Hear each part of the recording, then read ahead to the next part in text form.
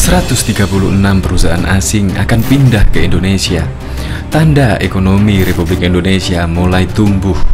Belum menyaksikan video ini, pastikan bosku jangan lupa subscribe Karena subscribe itu gratis plus bonus tonton video terbaru setiap harinya Jangan lupa ya Kepala Badan Koordinasi Penanaman Modal BKPM Bahlil Lahadalia mengungkapkan saat ini ada 136 perusahaan yang berpeluang pindah atau relokasi dari negara lain ke Indonesia menyusul 7 perusahaan yang sudah masuk lebih dulu. Rincian dari 136 perusahaan tersebut, 17 sudah mencapai progres di atas 50%, sedangkan 119 masih potensi.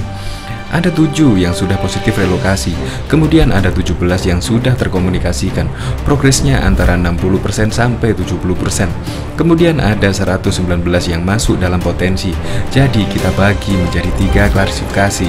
Kata dia dalam pernyataan melalui video yang dipublikasikan BKPM Rabu 1 Juli 2020. Dia menjelaskan perencanaan investasi harus jelas sasarannya, yang mana yang harus didahulukan. Jadi ada skala prioritas. Lebih lanjut, perusahaan yang mau relokasi ke Indonesia berasal dari sejumlah negara.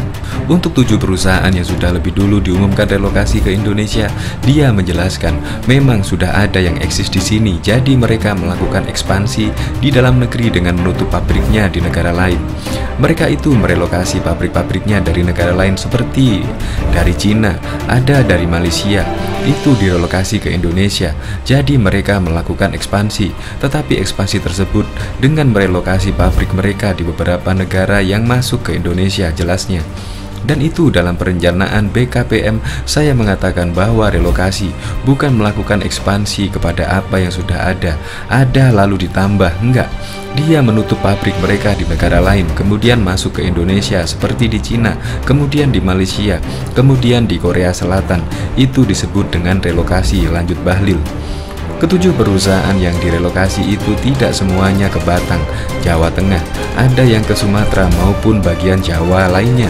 Kalau yang tujuh relokasi ini ada beberapa yang tidak semuanya ke Batang, ada yang ke Jawa Barat, ada yang ke Banten, ada juga yang di Sumatera Utara, tetapi dari tujuh itu ada sekitar tiga itu yang direlokasi ke Batang, tambah Bahlil.